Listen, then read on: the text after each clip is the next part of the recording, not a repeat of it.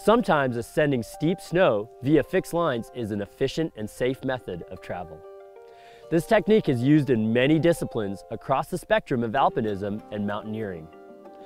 There are many methods to attach the ascender to your harness. One convenient and safe method is to girth hitch a runner onto your tie-in point of your harness. Clip a locking carabiner in the other end of the sling or runner and attach that locker onto an ascender. Now you have a little leash or tether so you can clip the fixed line and pull the ascender along with you for safety in case of a fall situation.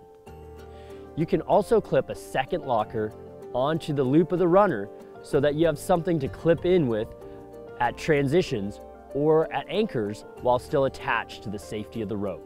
As an added safety measure, you can clip a carabiner to the top loop of the ascender to keep the rope from popping out of your ascender.